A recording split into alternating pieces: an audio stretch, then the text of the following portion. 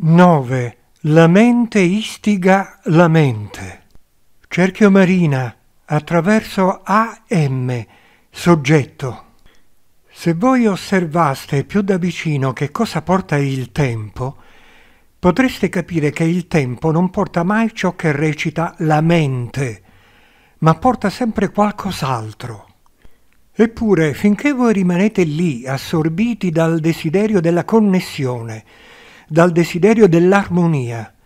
Qualsiasi cosa che vi arrivi e che magari vi dissesta, vi impone immediatamente di ripristinare in qualche modo un'armonia diversa, ricollocando le vostre azioni, rivedendo i vostri pensieri, cercando di intervenire magari anche sulle vostre emozioni, perché quel cuneo che si è insinuato comunque vi appartiene in quel momento e comunque vi parla di una possibile disconnessione rispetto a come voi vi vedevate prima. Questo è interessante perché afferma implicitamente che tutto ciò che vi arriva non è mai o quasi mai ciò che voi potete osservare se vi mettete lì a ridosso della mente, nel mentre essa pronuncia la stessa identica sentenza, ovvero sia mi appartiene, anche se non lo voglio.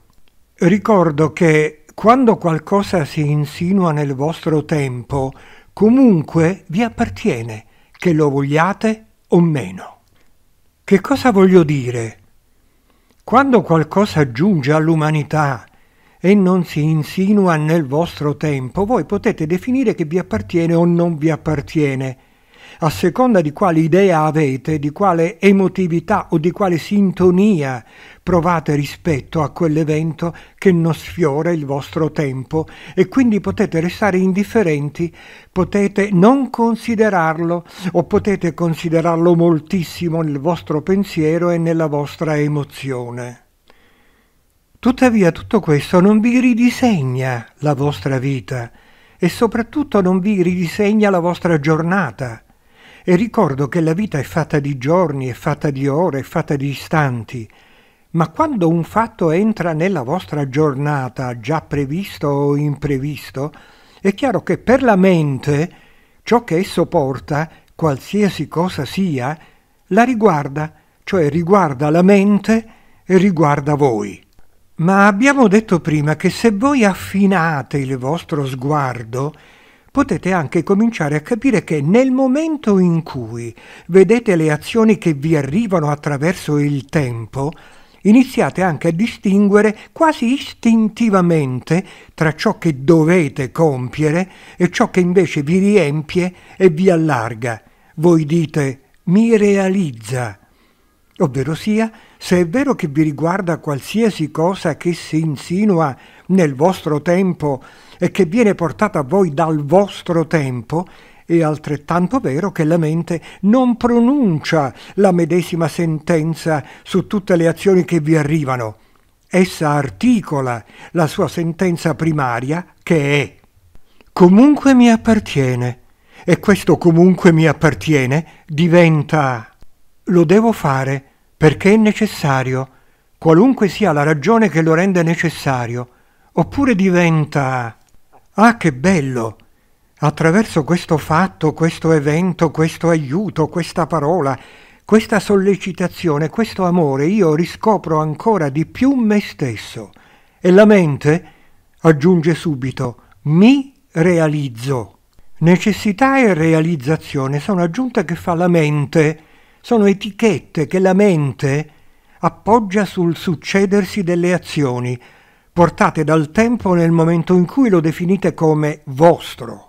Uno potrebbe domandarmi, ma c'è un tempo oggettivo che non è nostro? Direi di no. Nella vostra esperienza non c'è nessun tempo oggettivo dal vostro punto di vista, ma dal mio punto di vista esiste, sì, un tempo che non è oggettivo, ma che è un tempo che non pronuncia mai, mai e poi mai la frase che la mente recita sempre, ovvero sia questo mi appartiene perché mi giunge. Ricordatevi che per la mente Qualsiasi cosa le giunga e occupi lo spazio di cui essa si alimenta, appartiene comunque alla mente. E voi mi potreste dire, no, c'è qualcosa di irriducibile rispetto alla mente. Non è vero, non c'è niente di irriducibile rispetto alla mente, se voi vi ponete da quest'ottica, perché anche un fatto tremendo, obbrobrioso, diventa comunque proprio della mente, se non altro nelle etichette che essa immediatamente pronuncia e che fanno scattare pensieri, che fanno scattare emozioni, che fanno scattare reazioni, che fanno scattare azioni, che fanno scattare un cumulo di reazioni e un cumulo di azioni.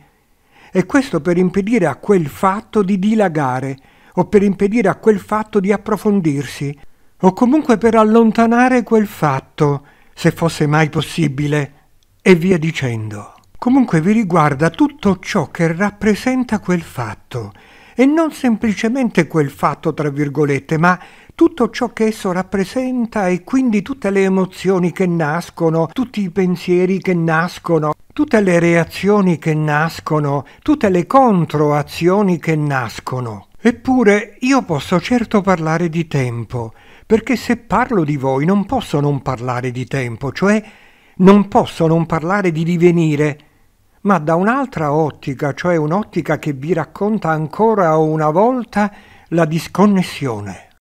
Che cosa potete dire voi se approfondite l'analisi sul tempo? Che il tempo in realtà non vi porta tutto ciò che vi recita la vostra mente, ma vi porta ben altro, vi porta invece proprio tante piccole sequenze di avvenimenti e ricordo, l'abbiamo già detto, che anche i pensieri sono fatti, che anche le emozioni sono fatti. Vi porta quindi tanti piccoli avvenimenti che vi sottolineano in continuazione come tutto ciò che voi dichiarate essere vostro in realtà vi pone sempre in scacco. Nel momento in cui voi osservate che non c'è mai un'armonia reale, ma c'è sempre una disarmonia che la mente vorrebbe nascondere o che vorrebbe purificare. Se questo è vero, allora è altrettanto vero che ogni azione di un altro, ogni azione di un popolo, ogni azione della natura che rompe quella che voi ritenete dovrebbe essere la successione degli eventi, così come ve la configurate, introducendo quindi punizioni, tra virgolette, o introducendo esasperazioni nella vostra vita, proclama sempre e solo una cosa, e cioè che la vita ha un compito soltanto, quello di disarticolarvi ulteriormente, quello di presentarvi proprio nel vostro essere disarticolati. Provate a pensare. Ogni volta che vi arriva un fatto insolito, immediatamente voi provate un senso di disarticolamento, se non ascoltate la mente, che immediatamente dice e no. Tutto questo provoca caos. Mettiamo un po' a posto questo caos. Quindi provoca disarticolamento e voi allora potete accorgervi che nello stesso istante siete attraversati da pensieri diversi, da emozioni diverse e da spinte all'azione diverse e in quello stesso istante voi vedete la mente che immediatamente comincia ad etichettare, etichettare ed etichettare. E che cosa fa attraverso le etichette? Esorcizza il potere scalzante di ciò che la vita vi fa arrivare. Tutto ciò che entra nel vostro tempo per lo più vi disarticola e vi disarciona, perché è difficile che vi arrivi un qualcosa che sia perfettamente in armonia, non con quello che voi siete in genere, ma con quello che voi siete in quel momento, perché normalmente quello che siete in quel momento è la conseguenza di quello che eravate un attimo prima. Ma voi sapete che la mente è profondamente instabile e quando arriva qualcosa di nuovo, nel senso di poco previsto, di previsto in una certa maniera, immediatamente la mente viene colpita da questa introduzione e deve o armarsi o disarmarsi, o comunque stringere ciò che arriva in modo tale da farlo parlare secondo un linguaggio che non appartiene a quel qualcosa di nuovo. In altri termini, se voi osservate ogni volta che dentro la vostra vita quotidiana arriva qualcosa, e non ho detto che arriva qualcosa che voi avevate previsto, e così come lo avevate previsto, ma che arriva qualcosa, sottolineo questo, la mente deve riposizionarsi.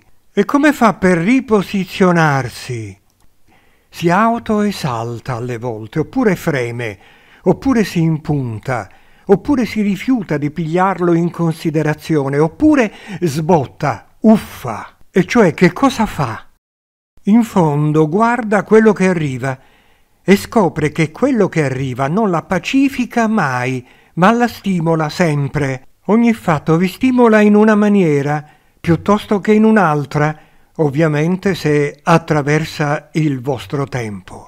Voi direte no, ci sono dei fatti che non mi stimolano per niente, che mi lasciano assolutamente indifferente.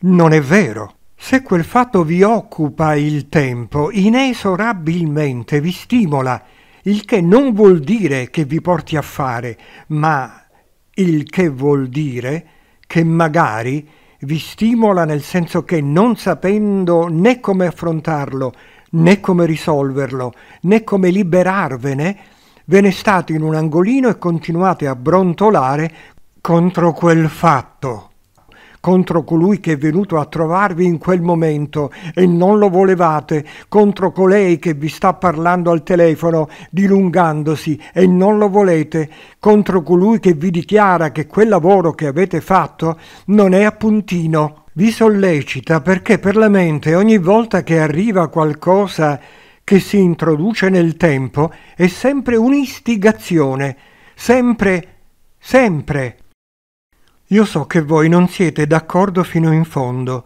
perché sento le vostre menti che dicono ma se io avevo previsto una cosa ed essa mi giunge esattamente come io l'avevo prevista ed era una cosa, un fatto o una presenza gioiosa, la mente non è che debba riposizionarsi. Davvero? Siete davvero sicuri? Quando la mente prevede un fatto non si comporta come quando quel fatto succede, se quel fatto esalta la mente.